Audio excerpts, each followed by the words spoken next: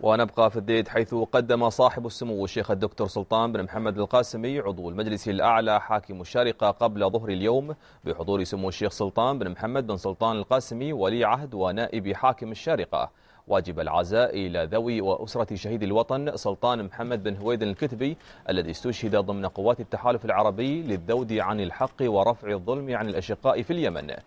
كما قدم واجب العزاء إلى جانب سموه معالي الدكتورة أمل عبد الله القبيسي رئيس المجلس الوطني الاتحادي وسمو الشيخ طحنون بن محمد آل نهيان ممثل الحاكم في المنطقة الشرقية والشيخ سالم بن عبد الرحمن القاسمي رئيس مكتب سمو الحاكم في الشارقة. هذا وأعرب صاحب السمو حاكم الشارقة خلال زيارته مجلس عزاء الشهيد عن خالص تعازيه وصادق مواساته لأسرة وذوي الشهيد. سائلا الله العلي القدير أن يتغمده بواسع رحمته وأن يسكنه فسيح جناته وأن يلهم ذويه جميل الصبر والسلوان. لكنه